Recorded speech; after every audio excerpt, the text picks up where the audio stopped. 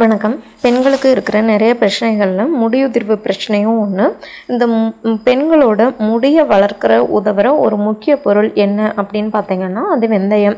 வெந்தயத்தை ஊற வச்சு அரைச்சி தலைக்கு தடவி வச்சுருந்து குளிக்கிறதுனால நல்ல பலன் கிடைக்கும். முடி கொட்டுறது பொடுகு தலைவழுக்க முடி மெல்லுசாக ஆகிறது இந்த மாதிரி பிரச்சனைகளுக்கு வெந்தயத்தை தாராளமாக உணவில் சேர்த்துக்கலாம்.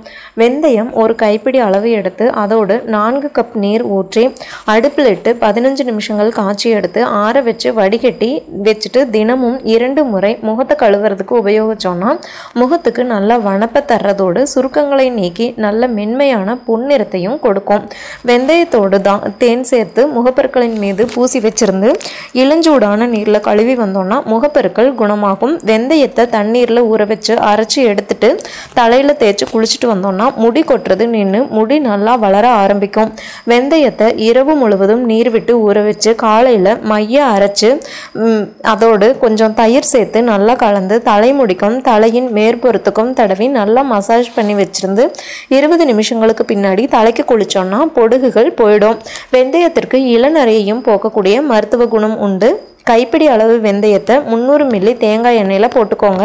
அது நல்லா கொதிக்க வச்சு எடுத்து வடிகட்டி இளஞ்சூட்டோடு தலைக்கு தேய்ச்சி நல்லா மசாஜ் பண்ணிட்டு வந்தோம்னா இளை இளநரை வராமல் தடுத்து நிறுத்த முடியும். இளநரை மேலும் பரவாமலும் இருக்கும். எண்ணெய் வந்துட்டு இரவு முழுவதும் தலையில் ஊறும்படி வச்சுருந்துட்டு காலையில் குளிக்கிறத வழக்கப்படுத்திக்கணும். மேலும் தகவல்களுக்கு சேனலை சப்ஸ்கிரைப் பண்ணுங்கள் தேங்க்யூ